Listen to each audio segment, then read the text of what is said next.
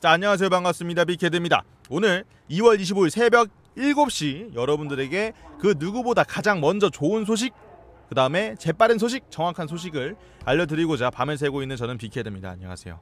죽겠네요. 자 오늘 이곳에 찾아온 곳 어, 오늘 저희가 찾아온 곳은 바로 눔바니입니다. 그러나 그냥 눔바니가 아니요. 저희가 찾아온 눔바니는 바로 테스트 서버 눔바니입니다. 어, 왜 이렇게 높게 뜨지? 테스트 서버 눔바니입니다 자 이 눈반에서 어떤 일이 벌어졌냐 소식이 빠르신 분들은 이미 알고 있을 텐데 바로 둠피스트의 건틀릿이 탈취당했습니다 그리고 그 과정에서 어, 에티라는 천재, 천재 소녀 발명가가 개발한 AI 인공지능 AI 로봇이 파괴되었다는 소식을 접하고 제가 이렇게 달려왔습니다. 무슨 VJ 특공대 같네요. 일로 가보면은 공격팀 공격 진영의 대기 장소에 파괴된 OR15라는 어, 로봇들이 파괴되어 있는 흔적을 볼 수 있습니다. 그리고 오버워치 트위터와 오버워치 홈페이지를 통해서 뉴스가 한 가지 전달됐는데요. 바로 둠피스트 건틀릿이 탈취당했으며 괴한의 습격으로 그리고 그 과정에서 로봇들이 어, 파괴되었고 다행히 인명 피해는 없었다라는 뉴스가 어, 공식 홈페이지나 그런 데 올라왔죠. 이따가 보여줄게요. 자 그리고 이렇게 게임에 들어와 보시면 이렇게 파괴되어 있는 현장을 보실 수 있습니다. 그리고 누구보다 빠르게 남들과는 다르게 빠르게 달려가 보면은 어, 좀만 더 갈게요. 좀만 더, 아 조금만 더 갈게. 아 좀만 이렇게 가보면은 저희가 맨날 수송하던 바로 그 둠피스 건틀렛에 어, 유리가 깨져 있고 탈취당했음을 알 수 있습니다. 어, 이로 인해 사람들이 어, 둠피스트가 곧 나올 것이다. 또는 둠피스트가 아닌 24번째 다른 영웅이 나올 것이다 라고 추측을 하고 있지만 그래도 가장 정확한 것은 곧 새로운 영웅이 나온다는 것입니다.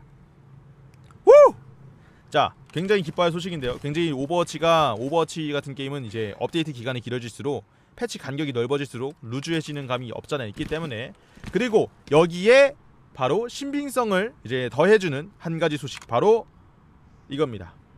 빠밤 이게 무슨 나라 언어예요? 바로 러시아 언어입니다. 어, 러시아 언어는 뭐야? 러시아어입니다. 러시아 공식 오버워치 채널에 가보면요 새로 비공개 동영상이 추가됐음을 알 수 있습니다. 어, 이 비공개 동영상이 무엇이냐? 바로 어, 이 재생 목록에 새로운 동영상을 업로드해놓고 지금 숨겨놓기만 했다는 거예요. 어, 이 소식이 굉장히 새로운 영웅이랄 거 영웅이라는 추측에 이제 그 사람들이 신빙성을 가지고 있는 게 신빙성을 가지고 있는 게 아나가 추가될 때도 솜브라가 추가될 때도 이러한 과정과 똑같이로 똑같이 비공개 동영상이 추가가 되고 하루에서 이틀 뒤에 바로 공개가 되었다고 합니다. 이번 영웅도 하루에서 이틀 뒤에 공개가 될지는 모르겠지만 적어도 새로운 영웅의 출시가 임박했다는 것은 알 수 있죠. 물론 PTR 서버, 테스트 서버에 출시를 하고 조정을 거치고 본 서버에서 들어올 거예요. 시즌 4 초반에 들어올 것 같아요. 제 예상으로는 아마 시즌 3 시즌 4 시작까지 일주일밖에 남지 않았으므로 어.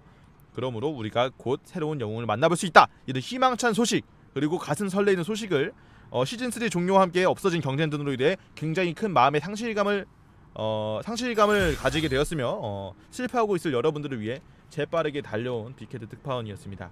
새벽이라서 굉장히 피곤하네요. 빨리 영상 올리고 자야겠어요. 빠이빠이. 반갑다. 재밌게 보셨으면은 구독 눌러주세요. 수고하셨습니다. 빠이빠이.